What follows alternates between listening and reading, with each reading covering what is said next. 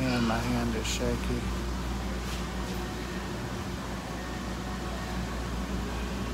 What I'm gonna do is post these up on, I've got a little YouTube channel Oh, yeah. and see how many people, a lot of people don't know rainbows. I didn't. I never kept them till a couple years ago. Let's see who can guess what they are. I could be wrong because they're juveniles. It's hard to tell. But I know they're not the Madagascars.